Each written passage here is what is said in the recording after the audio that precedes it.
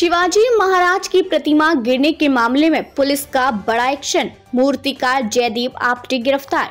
महाराष्ट्र के राजकोट किले में पिछले महीने छत्रपति शिवाजी महाराज की मूर्ति गिरने के मामले में फरार मूर्तिकार। ठेकेदार जयदीप आप्टे को बुधवार, चार सितंबर की रात थाने ज़िले के कल्याण से गिरफ़्तार किया गया।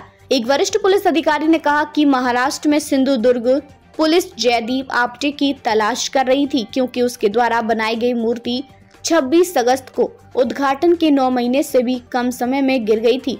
पुलिस ने उसकी तलाश के लिए सात टीमें बनाई थी।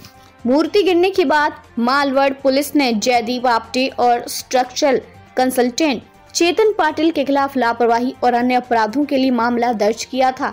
इसके बाद पाटिल को पिछले सप्ताह कोल्हापुर से गिरफ़्तार किया गया था। बता दें कि मराठा राज्य के प्रतिष्ठित संस्थापक की मूर्ति के गिरने से महाराष्ट्र में विधानसभा चुनाव से पहले एक बड़ा राजनीतिक विवाद खड़ा हो गया, जिसमें विपक्ष एक नाथ शिंदे के नेतृत्व वाली सरकार पर निशाना साध रहा है। शिवसेना नेता सुषमा अंधारी ने कहा कि राज्य सरकार को जयदीप आप्टे की गिरफ्तारी का कोई श्रेय लेने की कोशिश नहीं करनी चाहिए, क्योंकि यह सरकार का कर्तव्य है। वह कोई अंडरवर्ल्ड डॉन नहीं था। उसे पहले ही गिरफ़्तार कर लिया जाना चाहिए था।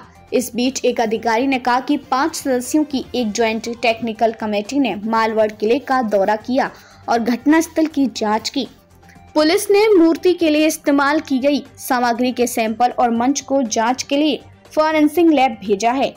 राज्य कांग्रेस प्रमुख नाना पटोले ने पुणे में आरोप लगाया कि मूर्ति के निर्माण पर केवल एक दशमलव पाँच करोड़ रुपए खर्च किए गए, जबकि इस काम के लिए राज्य के खजाने से 236 करोड़ रुपए लिए गए थे। वहीं मुख्यमंत्री एक शिंदे इस घटना पर कहा कि विपक्ष मूर्ति डहने की घटना का राजनीतिकरण कर रहा है।